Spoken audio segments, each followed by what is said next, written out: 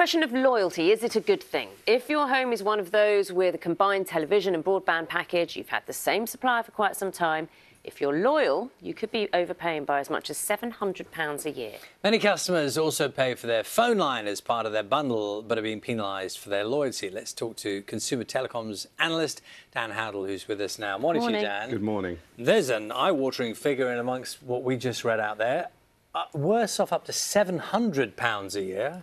The irony is it's actually the product that we have a very healthy broadband marketplace in the UK. There are a lot of countries around Europe and the rest of the world where you've only got one or two competing providers. In fact, the United States is very notable for having kind of a duopoly in that respect.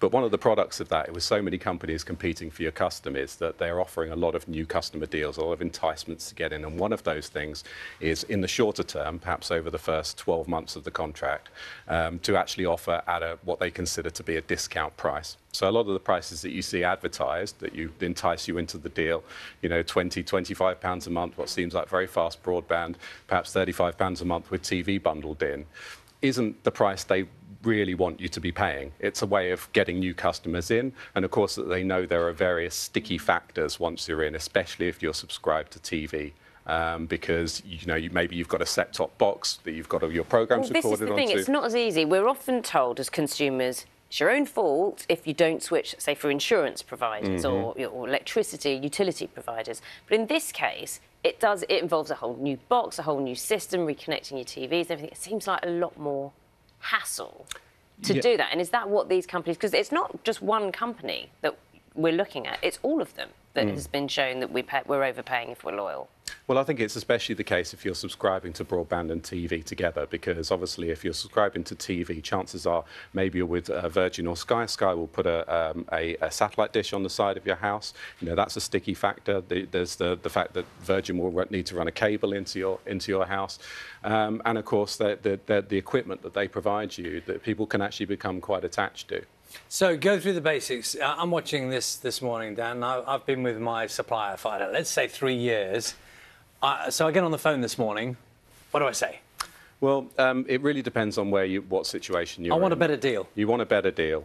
Um, Pay if, less money. If, if you're, what I want if you're currently paying for broadband and TV, um, and you're with one of the main providers, so for argument's sake, let's say Sky and Virgin, maybe BT, um, you know, you've got to be realistic about what your alternatives are. Um, it used to be that Sky, um, particularly, um, you know, was difficult to haggle with when it came to TV because they know, knew that no one really can offer you a, a service that, that competes exactly. On, on the it. whole, is the evidence that if someone phones up with the intention of saying, do you know what, I want the same service, but I want to pay you less. Mm.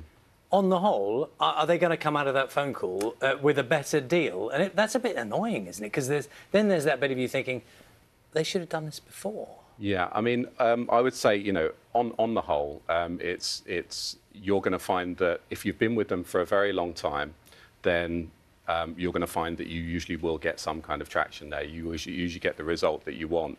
But if you don't get the result you want, then um, it is a good idea to just le at least make yourself familiar with the kind of competing services that you could be having and, and perhaps open yourself to some of the new customer offers from other providers. Literally be, be able to show you will vote with your feet. That's it, isn't yeah, it? I mean, and they will call your bluff on that, you know. Yes. That, that they sometimes will call your bluff on that. You know, it's, it's sort of an empty threat if you're with Virgin Media and you've got 362 megabits per second broadband. You say, well, I'm going to go elsewhere because nobody else offers that. Dan, it's good to talk to you. Thank you very much. I'd be really interested um, to what people at home think about this, actually. Try it. Let us know, because I, I know lots of people who have tried it. I've tried it and just been told, nah. Oh, really? It yeah. hasn't worked? Yeah, because, for the same reasons, various providers. Same reasons, because they know you're stuck and you've got uh, one part of that service is better than everyone We want to hear really from someone who's had a fantastic result, yes, where they've suddenly found they're paying like £100 less just from one good. phone call.